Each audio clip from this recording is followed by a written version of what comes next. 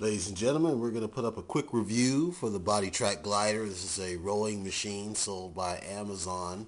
I have to admit, when I saw this machine on Amazon, I was a bit skeptical given that it is uh, quite reasonably priced.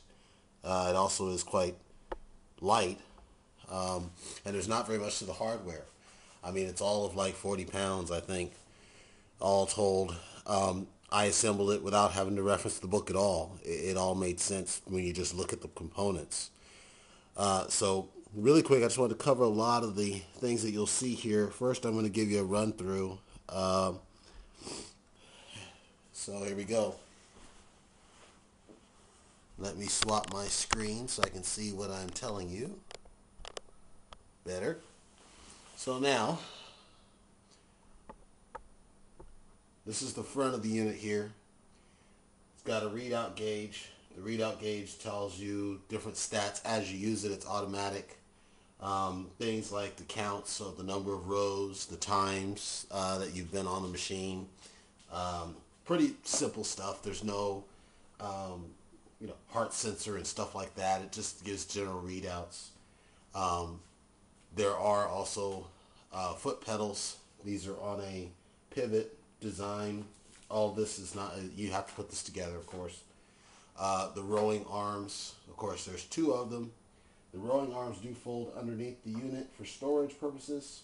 Basically, there are two uh, kind of knobs on the back that you install that you remove, and then you can fold these underneath the device so you can fold it up and put it in a closet or something. As you can easily tell as I pan across the device, it doesn't take up very much foot real estate as it is. Um, the seat, which of course goes along a rolling uh, tread. It's pretty, it's not, there's not much resistance on the seat at all. It goes pretty much by itself. There's a slight incline downward. Underneath the device, I'm going to tip this over just a little bit. You have a regular pneumatic shock. You can't see because of my arm, but there's a regular pneumatic shock back here. Shock has a resistance uh, knob on it so you can add some resistance if you want to uh, add some intensity to your workout, make it a little bit more difficult. Um, it goes from 1 to 12. What I usually find is that 7 is about reasonable. Anything lower than that, you'll it, there's still resistance, but you know, unless if you're not that muscular to begin with, I find 1 to be absolutely insufficient, 2 to be absolutely sufficient, and so on. Seven starts to where it gets to where you'll get an actual workout. I wanted to stress that due to the build of the machine, because the fact the seat has no resistance and you can't give it any resistance, don't expect to get very much exercise on the legs. You're not going to really feel very much burn on your legs. It's all going to really be on your upper body, um, most notably um, pecs.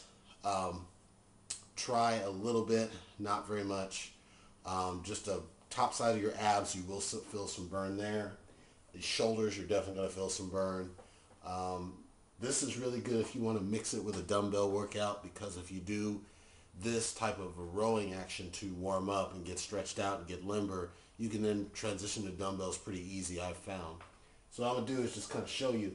A lot of people were kind of curious about the rowing motion. I'm going to do a quick row motion just to show you the uh, motion of the machine and how it goes and um, and then I'll tie it all up. So here we go. I apologize you won't see too much of me, but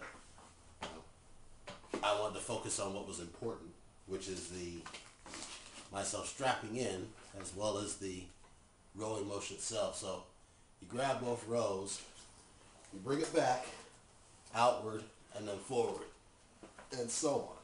But as you can see, the seat moves so easy. I'm not really getting too much of a leg, leg exercise. I mean, you are moving and your legs are, you know, contracting and stretching, but you're not really getting much of a workout on it because of the lack of resistance. And then, of course, the screen comes on automatically, so you don't have to turn it on to tell you stats about what's going on. What I like to pay attention to is the number of revolutions that I've done on the machine. That's a good gauge of just how much resistance I've done. I don't burn very many calories on this. Um, for calorie burning, you really need to get into like a running workout. This type of machine is really good for working upper body. And then as you see, the seat just gently rides to the very beginning. So, as I said, no resistance whatsoever. Anyway, there you have it. BodyTrac glider on Amazon. It is very reasonably priced. There's not much to the build. It's quite skeleton actually, but it does do a very good upper body workout. If you do it for, I'd say, 15 to 30 minutes per day, you will feel the burn. Um, it will have you worked out. I, I would liken something like this to, um, you know, kind of the a better version of free weights in that because it works your entire upper body and doesn't just focus on your arms or your, you know, your chest or your shoulders, it means that you can get a more defined, more definition. So if that's important to you, you want to consider this type of machine. I wouldn't consider it for true weight loss because it doesn't burn as much calories as you'd probably need to to overcome the calories that you intake.